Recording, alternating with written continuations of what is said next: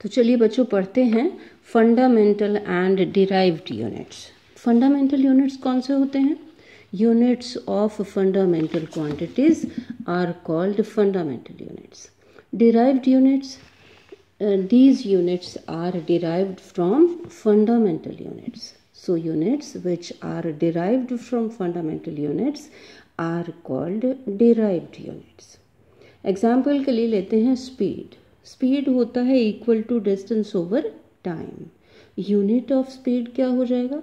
Unit of distance over unit of time अब अगर distance का यूनिट सेंटीमीटर है और टाइम का यूनिट सेकंड है तो स्पीड का यूनिट हो गया सेंटीमीटर पर सेकेंड इसी तरह से अगर डिस्टेंस का यूनिट मीटर है टाइम का यूनिट सेकेंड है तो स्पीड का यूनिट हो गया मीटर पर सेकेंड। इसी तरह से अगर डिस्टेंस का यूनिट किलोमीटर टाइम आवर्स में देख रहे हैं तो स्पीड का यूनिट हो गया किलोमीटर पर आवर।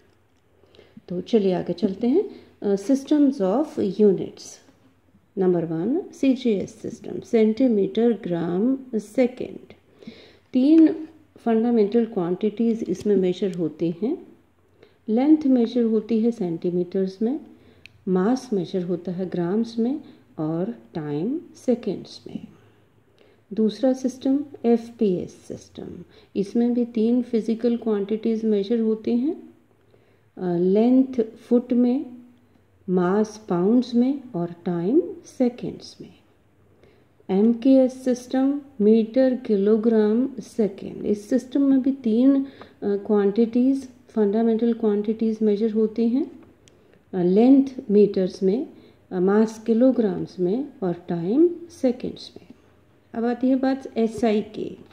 इसमें फंडामेंटल क्वांटिटीज़ हैं seven plus two length measure होती है इसमें मीटर्स में। मास मेजर होता है किलोग्राम्स में। टाइम सेकेंड्स में टेम्परेचर केल्विन में। Electric current, ampere, luminous intensity measure होती है कैंडला में क्वांटिटी ऑफ़ मैटर मेजर होती है मोल में। प्लेन एंगल रेडियंस में मेजर होता है सॉलिड एंगल स्टी रेडियन इसका यूनिट है। आइए बात करते हैं advantages of S I international system of units के एडवांटेजेस क्या हैं। पहली बात है कि it is a rational system of units इसका मतलब समझ लेते हैं।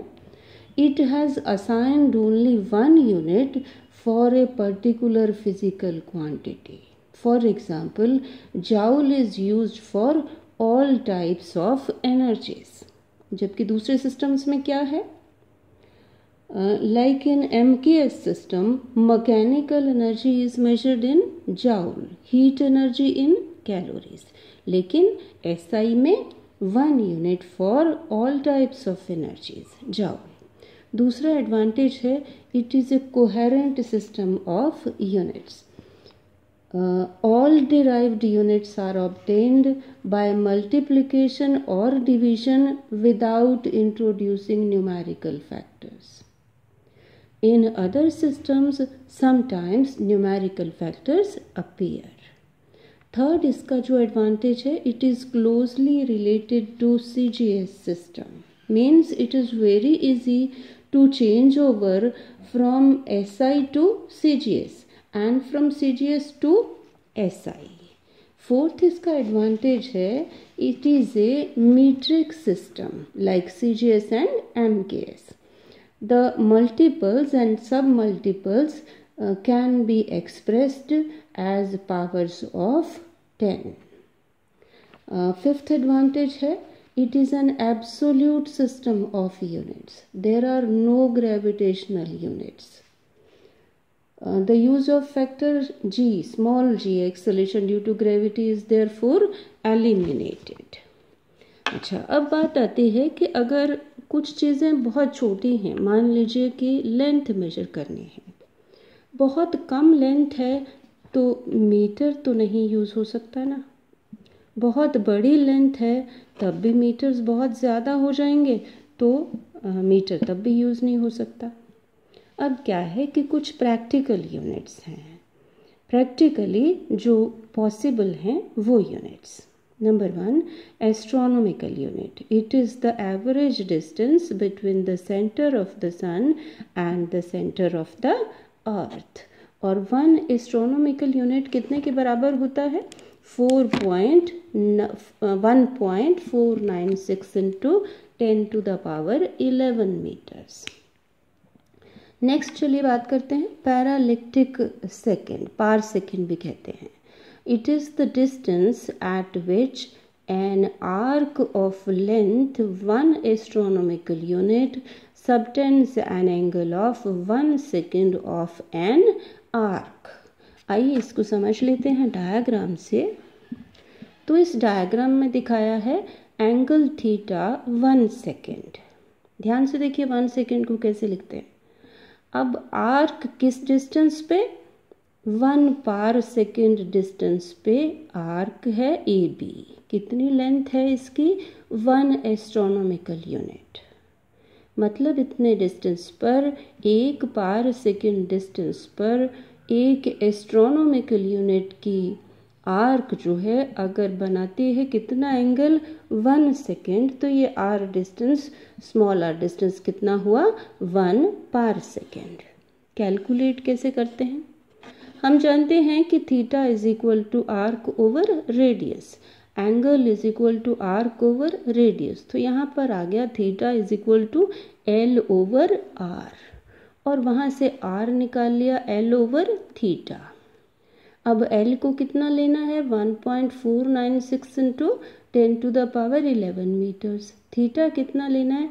वन सेकेंड लेकिन इस वन सेकेंड को कन्वर्ट करना है रेडियंस में. नीचे देखिए 360 degree equal to two pi radians होते हैं।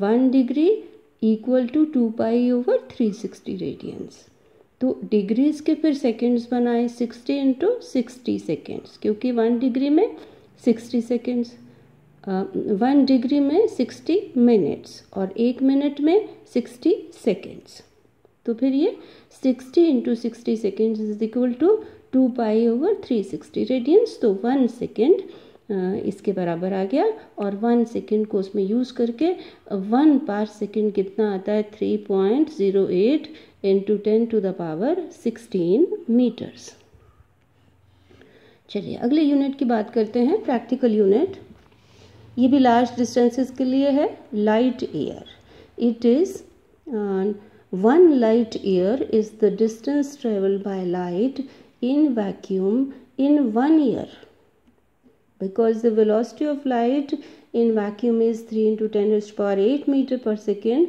and one year one year के सेकेंड्स बनाने हैं। वन ईयर में कितने डेज़ लिए? Three sixty five one day में कितने hours twenty four one hour में मिनट्स कितने?